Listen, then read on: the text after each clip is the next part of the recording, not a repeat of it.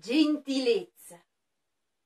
La gentilezza è dote singolare. Si manifesta in gesti inattesi o nel luccichio di sguardi cortesi, sicché il mondo meno grigio appare. La gentilezza è pura eleganza.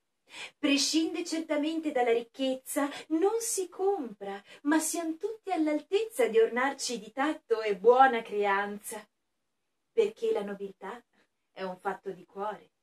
Meschina è la povertà interiore.